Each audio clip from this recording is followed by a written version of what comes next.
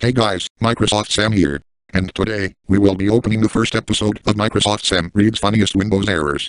Let's get started, shall we? Tip of the day. Everything that you like on your computer will turn into virus and will give you a blue screen of death. Oh no, wait. Why is there blue with me? Oh, and you. Oh never mind. Anyways, as I was saying. Oh no. Warning. There will be zombies inside your computer screen in 5, 4, 3, 2, 1, and... I don't even know anymore, but I guess that the zombies got in your computer. Wait, the zombies aren't inside my computer. They're behind me. Oh my fucking crap. brains, Oh fuck off, some zombie version of Daniel UK. Want to play games? Yes. I want to. Just kidding.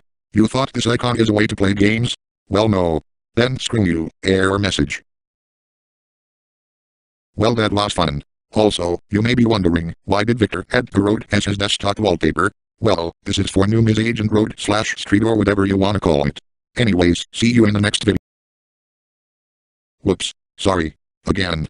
Well that was fun. Also, you may be wondering why did Victor Edgar Road as his desktop wallpaper? Well, this is for new Ms. Agent Road slash street or whatever you wanna call it.